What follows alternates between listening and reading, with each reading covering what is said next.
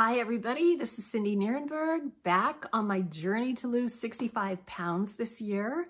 Um, it's Monday again, and that this week went by really fast, so I'm just going to throw my results out there. My results are, drumroll please, I lost 3.0 pounds this week. And I'm really proud of that number. I don't want you to think that I'm not. However, if you subscribe to the calories in, calories out approach to weight loss, um, I want you to realize that in order to lose 3.0 pounds, I would have had to have not eaten 10,500 calories this week. And that, that didn't happen. Or I would have had to have exercised like a crazy mad woman to lose you know, or to burn off 10,500 calories. And that didn't happen either. What I like to think happened this week is that my body was just primed for weight loss. It was ready to let the weight go.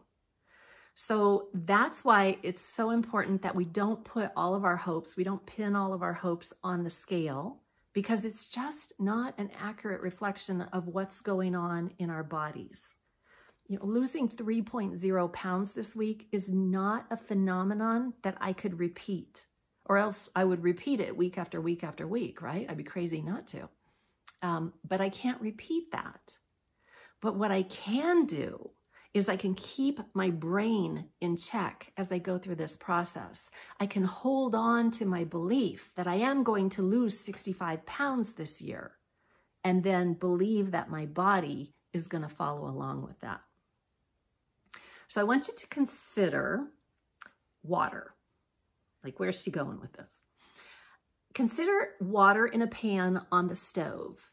And water begins to boil when you heat it up to um, 100 degrees Celsius or 212 degrees Fahrenheit. Yes, I did have to look that up. But water doesn't boil until it reaches that temperature. And once it reaches that temperature, then all of a sudden the activity happens, the bubbling and the boiling. What if our bodies are the same way? What if our bodies aren't ready to let go of fat or water or inflammation until they reach a certain boiling point? And what if we miss that boiling point? What if we get this close to it and then we say, ugh, you know what, it's been a hard week. I'm, I'm going to drink a bottle of wine. Or, hey, like all my friends are going out for tacos and margaritas. I will too. What if we miss that boiling point because of one decision that we make. So my tip for you this week is I want you to always consider how close am I to that boiling point? And then what do I want to do about it? Because you guys, you always have the choice.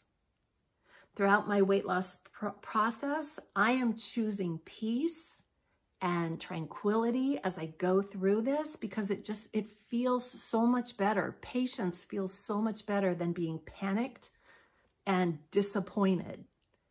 So I'm going to be calm and I'm going to make the right choices no matter what's happening.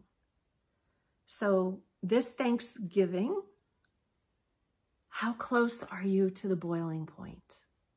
And what do you want to do about it? That's my tip for this week. Um, I just want to say thank you so much to those of you who've reached out to me. Uh, I've had such great conversations with you.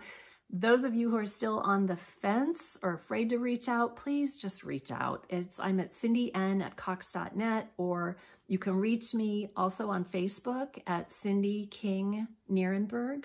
And I would be happy to consider or to continue this conversation with any of you.